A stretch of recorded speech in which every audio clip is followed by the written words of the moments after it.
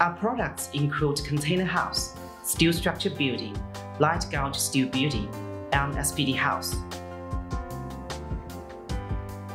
The best price quality ratio is definitely the most important competitive advantage of all the products that PTH manufactures.